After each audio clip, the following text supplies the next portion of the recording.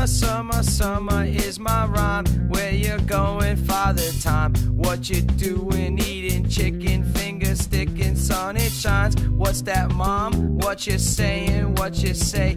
Is it time? I can't believe it. I must have waited all my life, at least all winter, for my right to do this thing we always do. What's that? I thought you knew. It's my family's barbecue. Uncle Richard brings the chips. Aunt Elaine, she makes the dip. Cousin Brian makes the Franks. Little Rollo. Philly taco. You're really good at that. Philly taco. Yeah, man. Philly taco. It's Philly Taco time. Another special edition of the Brothers Dempsey coming at you. Yeah, this is a crazy one. This is this is we've been talking we kind of talking about food pairings and if we wanted to go that route um, as far as the show goes and we're not really interested I guess in doing that right now but A lot of Um, people do the same old kind of food pairing thing now. It's like cheese with beer, like you know, instead of Yeah. wine with beer, and you know, there- well, every beer, a lot of beer labels now have like little food pairings on the bottom They label, so it'll tell you what goes good with it. And I don't know, I've never been a big food and beer pairing guy. I don't know, it's like I believe in it I just haven't I just don't I don't know I don't feel like I'm I could really you know I think I just like drink beer a lot and yeah like to eat a lot, not necessarily always at the same time. but uh, but this you know this came along Yeah, this is a big wish list item we've been thinking about for a trying while. to find this beer and lovely Beverly Barber was Yes. able to provide Woo! not only the awesome beer Philly taco, but the ingredients in which to make A Philly taco.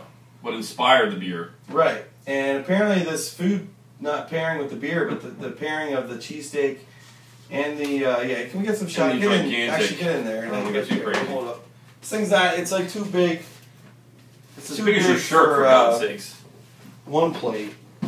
Yeah, Dude, these are not like tiny plates. That's a giant slice of pizza. Okay. that's right. For those of you From not from the Philadelphia area or And we'll get another look at this, but uh, this is Jim's South Street Jim's cheesesteak. yeah. So I guess we found out this beer was coming about a while ago. Yeah, It was the, for uh, uh, what event was it for? Do you remember what it was there was- for? Philly was it for Philly Beer Week? Or was it for? It was right before that, I think, and there was yeah, it was something else. There was There was an something event. They did um, they did a few things. Uh, you went to Lorenzo's and got a slice, and then you would go to Jim's, get your cheesesteak, and buy a bottle of this. I don't know if they were twenty twos or what, but this actually happened. Then you go upstairs and they had like a little must party for big. people doing this, celebrating the release of this beer. Uh, very That's exclusive beer. Uh, the history of the so this goes back like 10, 11 years. Some guy made this up. It's not really Yeah. real. Uh, I didn't even really know about I it. I never heard about it until yeah, yeah, which is crazy. But But the guys from uh, Cigar City Brewing, and it's a perennial, what are these perennial artisan ales in St. Louis, Cigar City from uh, Tampa, Florida, I believe. yeah, They uh, were at Philly. Beer Week a couple years back, maybe a year ago, maybe two years, I'm not sure. And they yeah, heard about 2014, I believe. Yeah, they heard about the Philly Taco and decided that they would make a beer to go along with to it. pair with it. Yeah, Yeah, I think it's awesome because it's like not even a Philly brewery, but uh, made with you know Philly Yeah. intentions and That's the cool thing about beer, though. These get these weird just ideas that crop up. I'm like, let's just do it. yeah, That's awesome. So we have our first Brothers Dempsey food pairing. For yeah, yeah, it's a big one. It's a wild one. Let's crack into this. Yeah, you want to crack open the Philly beer? I'll. I'll open the steak. Yeah, you open, you open the steak. I'll do the pouring, and while I'm pouring, I'll try and also talk a little bit more about the style. I'm not even sure how to assemble a Philly taco, and I know how to do it or what comprises it, but I don't really know. I know it's too aggressive on mine already. It's a great idea, though, really. Alright, it's gonna When you take- think about it, this is kind of classic Philly too, because Philly's kind of known to be kind of a fat city. I think you know. I mean, we're known for our, our oh, gluttonous eating habits. I would say overall, right? Put the whole thing in there. What do you think about that? Mm.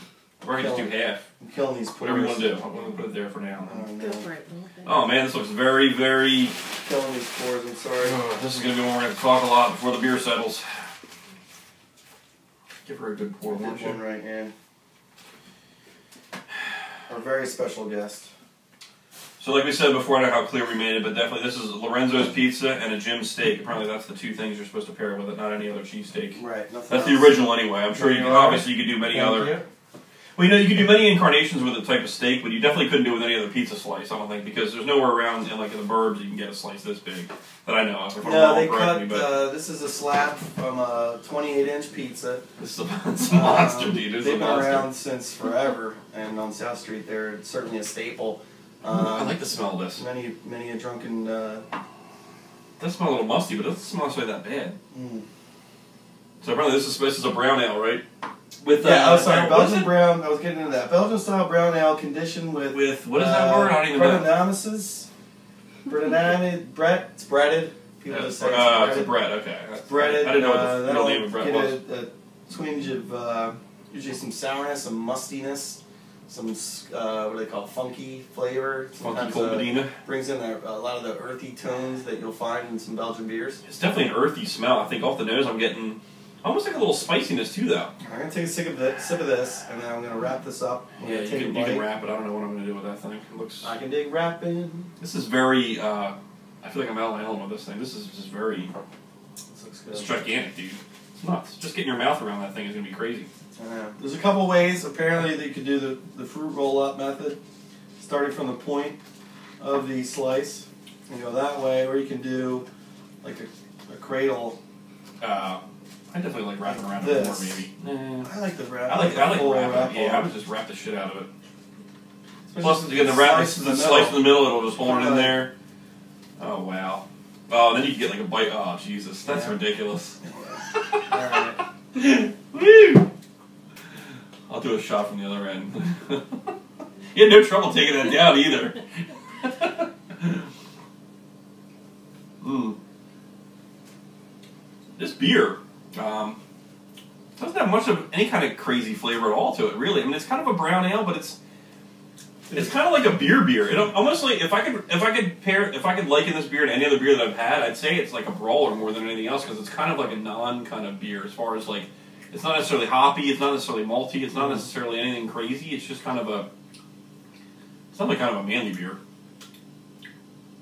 It's definitely dry and kind Fried of onions. Straight up, fried onion. So good. I don't know. There's not a whole there's not a whole boatload of flavor going on with this thing, but it's ta- it's not bad though. I like it. I, I I'm enjoying it. Mm. It's different. It's definitely a different kind of beer. Alright, either yeah, take a bite. I'll go over this end here. See what the hell we got here. I had like it's like where do you roll till you get like the Just need yeah, get a picture like of all roll us shit biting it together. Mm. Oh shit, it's all that squirty. Oh, did you hear that, folks? Did you hear that? all wrong. Squirted everywhere. Mm. That's pretty good, man. I like more steak. Mm. You got a juicy steak portion. Mm-hmm. It makes like a that was like a real rolly bite. It was like all steak with like Rolly. it was like all steak with like a roll and Rolly, extra Rolly crust. Massimino bite. That's a lot of crust. Mm. That's ridiculous. I, think I get definitely get more steak than pizza on this. Oh man, look at my I still got need a little cleanup crew. Just clean this table nice and neat for the shooting table. Now tons it's just a that- mess. Tons ahead here. Right. What do you think? It's good. Mm-hmm. Sweeter than I thought it would be. Yeah, it was a little sweet, isn't it? Yeah, it's not as crappy. I need like a little tip of pieces. Oh man, come on. Sorry. Take the whole. Mm. I didn't get enough pizza in that I'm getting a tip on this, Mm. this pizza. Just a tip though. I feel like the steak was overshadowing the pizza because I got. I mean, look what you got. Seriously. No, you're right. You're right. You're right. Yeah. We never get much had pizza in that kind bite. of a, It's gonna be like that. Mm. I need this onion too. These onions are fat. That's always Jim's trademark. Those fat onion pieces. fat onions. You're good though. Uh, go. You know. Good luck finding this stuff. Um, it was very special just to even get this. Thanks again, hmm. Beverly, for hunting this one down for me. I will say there's more flavor after eating that.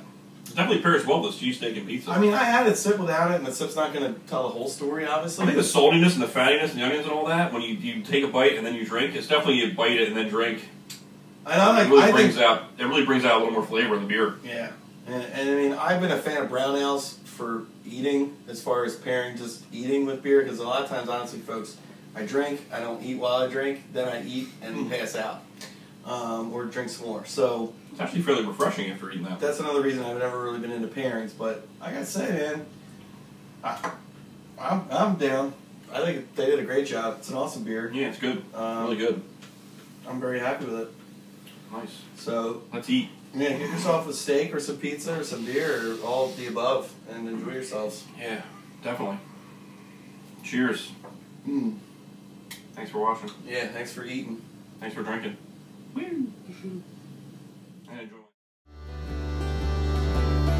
Take up your arms, sons and daughters. We will arise from the bunkers by land, by sea, by derivative.